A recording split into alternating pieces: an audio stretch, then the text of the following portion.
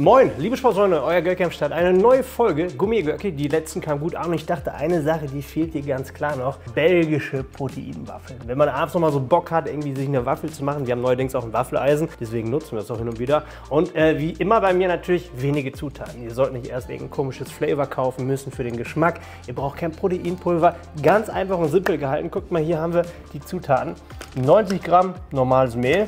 Und dann haben wir eine Packung Körniger Frischkäse, 300 Gramm. Körniger Frischkäse, ich glaube Hüttenkäse sagt man auch dazu, Cottage Cheese, hat drei verschiedene Namen, aber es ist ein und dasselbe Produkt tatsächlich. Und ich habe hier sogar den mit Magerstufe, also mit deutlich weniger Fett. Wir haben hier auf 100 Gramm tatsächlich nur 0,4 Gramm Fett.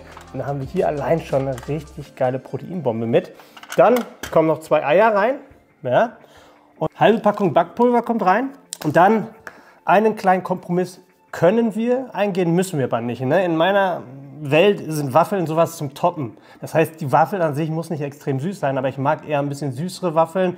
Dementsprechend habe ich hier gleich am Ende 10 Gramm oder einen Esslöffel Erythrit. Erythrit ist mehrwertiges Alkohol, hat 60 bis 70 Prozent Süßstoff oder Süßungskraft vom Zucker, also nicht ganz so stark wie Zucker. Einziges ja, Problem, was damit auftauchen kann, ist, wenn ihr euch zu viel davon reinballert, kennt ihr vielleicht noch von der FIBO, wenn die Leute immer quasi die ganzen Proteinriegel überall testen, essen, dann sitzen sie alle auf dem Scheißhaus. So, wir gehen mal auf die Nährwerte deswegen ein. Das ist ja jetzt für mehrere Waffeln. Wie viel am Ende rauskommen, das müssen wir mal gucken. Das sind am Ende 707 Kilokalorien. Ich vermute mal so 5 bis 7 Waffeln kriegen wir raus. 80 Gramm Kohlenhydrate, 61 Gramm Eiweiß. Wenn wir Glück haben, haben wir so ungefähr 10 bis 15 Gramm Protein pro Waffel und 13 Gramm Fett. Also wirklich top Nährwerte und ich würde sagen, wir legen einfach mal los. Ist wieder super einfach. Wir brauchen einfach eine Waage. Zack, machen die einfach mal an. Dann haben wir hier mein, mein Dingen drauf. Und ich habe von meiner Freundin gelernt, erst die flüssigen Zutaten, dann die festen. Dann vermischt sich das besser. Ich sag's immer wieder, Gourmet-Görki ist keine krasse Kochshow. Ich bin nicht der Sternekoch oder ich mache das so wie die meisten. Einfach, es muss schnell gehen, man muss es nicht gut können, es muss am Ende einfach nur schmecken. Flüssig, hat sie gesagt. Dann würde ich sagen, sind wir natürlich mit den Eiern zuerst dran.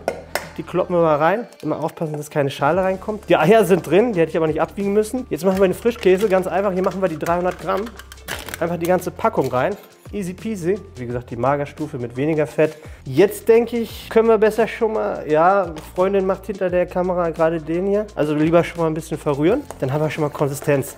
Man kann das Ganze auch mit einem Mixer machen, so, ne? aber ich bin so der Typ, der halt beim Backen und Kochen auch noch seine Arme trainieren möchte. Ja, ich kriege hier gerade den Schneebesen. So, jetzt gehen wir mal in den Feinschliff hier. Jetzt kommt das Bizeps-Training. Müssen wir mal gucken. Ich bin mal gespannt. In der Regel macht es bei einem Waffelteig schon Sinn, wenn er, dass er so sehr cremig ist. Bei dem König Frischkäse müssen wir das erstmal hinkriegen. Aber ihr seht schon, Bizeps ist auf Spannung, ja. Geht tief. Hab heute den Rücken trainiert, da war der Bizeps als Synergist auch schon anteilig beteiligt. Das heißt, ich hoffe, dass ich morgen keinen Muskelkater kriege oder in meine Superkompensation reintrainiere. So, ich würde sagen, wir haben Zeit, jetzt mal das Mehl reinzuknallen. Ah, ihr seht schon, easy peasy. 90 Gramm Mehl machen wir rein. Da muss man aufpassen, dass es auch passt. Ihr seht schon, das ist schon vom, vom Teig viel. Also ich denke, fünf Waffeln kriegen wir safe rein in das Eisen. So, halbe Packung Backpulver. Ich glaube, das ist relativ easy. Das kriege ich hin. So nach Görki Augenmaß, ja? Ja, safe. Ja, lieber ein bisschen mehr, sonst geht es nicht auf. Dann, äh, und dann würde ich sagen, nehmen wir noch, ich weiß nicht, ob das genau ein Esslöffel ist, aber machen wir einen Esslöffel Erit. Ja, komm. Das ist fast das Ganze. Haben wir ja schon abgewogen vorher. Sollte passen.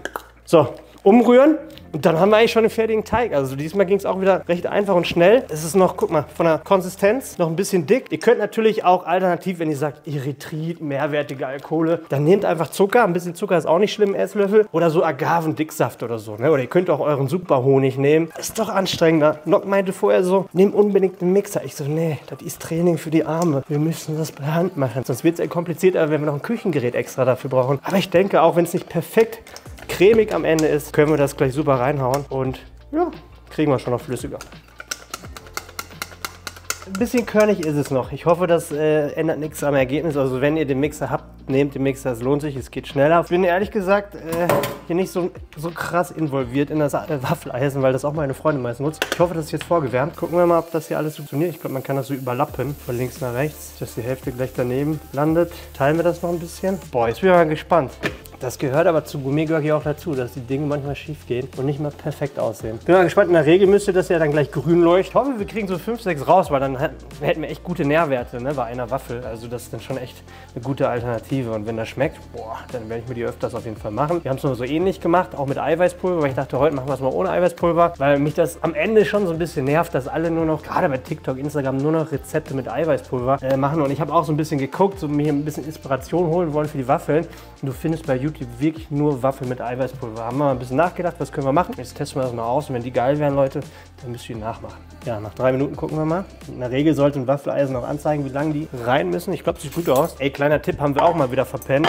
So ein bisschen Butter oder so ein bisschen Öl, damit das nicht festklebt. Das könnte jetzt das nächste Problem sein, dass die hier unten so ein bisschen kleben, ne? Aber, aber, geht doch. Also geht auch ohne. Zack, so sieht's geil aus. Kann man machen ohne, ne? Gerade hat es funktioniert. Wir wollen uns ja die Kalorien aus dem Öl sparen. Wir ein bisschen. Zack, zack, zack, zack. Geil, bin ich ein bisschen stolz. Auch mit Hindernissen klappt das immer ein bisschen. Und die nächsten zwei, schauen wir mal. Langsam öffnen, komm. Auch wenn sie von innen ein bisschen weicher sind, ist auch geil.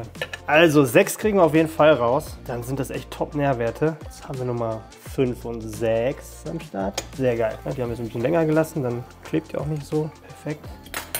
Und jetzt noch die letzte, die siebte. Wir gucken, was wir für ein Topping noch finden, ja, ob wir noch irgendwie was drauf machen. Macht immer Sinn. Man kann das Ganze natürlich auch am Ende äh, herzhaft essen. Ne? Man könnte es theoretisch wieder Frischkäse oder Hüttenkäse oben drauf machen, dann vielleicht noch ein Spiegelei oder so. Auch eine sehr, sehr geile Alternative. Könnt ihr machen, wie ihr wollt. Okay, Nummer sieben. Hoffen wir, dass auch die noch was wird. Oh, die war schon sehr lange jetzt drin. Egal, wird schon klappen. Ich habe mal für euch tatsächlich die Nährwerte ausgerechnet.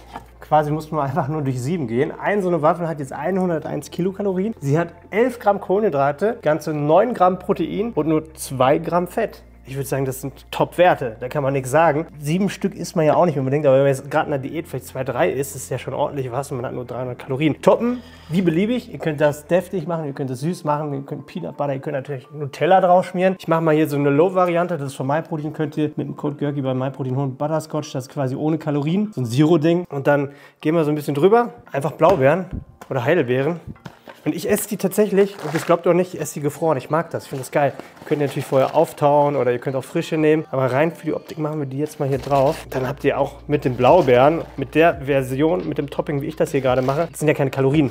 Also 100 Gramm Blaubeeren haben irgendwie 35 Kalorien oder so. Das sind 700 Kalorien, das sind 61 Gramm Eiweiß, diese Haufen. Also ziemlich, ziemlich geil. Guckt euch das mal an. Wie gesagt, 9 Gramm pro Waffel. Und ich habe gerade schon mal so eine Kante abgezogen. Richtig lecker, aber wir machen jetzt nochmal die Verköstigung live. Und ich breche für euch mein Fasten. Aber wir haben 18 Uhr, ist ja abends. Eigentlich darf ich fast. Ich esse meistens erst um 21 Uhr. Geil, oder? Ich würde sagen, dann wollen wir mal. Und äh, das Ganze, denkt dran, kein Chunky Flavor, kein Eiweißpulver oder sonst was drin. Bis auf das Erythrit eigentlich natürliche Zutaten in Anführungsstrichen. Komm, machen wir so eine Ecke raus. Mmh. Guck mal, seht ihr das? Von innen ist es wirklich weich und von oben wirklich crispy angebraten. Boah, ist kein Scherz, ne? Ich habe auch schon andere Waffeln gegessen. Es gibt auch hier diese ganzen Waffelläden in Berlin, wo einfach nur Zucker drin ist. Ich schmecke keinen Unterschied, wirklich nicht. Es schmeckt wirklich gut, also wirklich sehr gut. Macht es bitte nach, Leute. Es ist ein geiles Rezept, super schnell gemacht, ohne schlechtes Gewissen, diätfähig. Ganz wichtig, Leute, kommentiert, wenn ihr das gemacht habt und verlinkt mich in der Instagram-Story. Haben auch schon viele bei der Pizza gemacht. Dann sehe ich, dass ihr das nachgebacken oder gekocht habt oder wie auch immer. Und äh, ja, abonniert den Kanal für mehrere solche Gourmet-Görki-Rezepte, dann bleibe ich für euch dran. Und ich würde sagen, gönnt euch. Bis bald.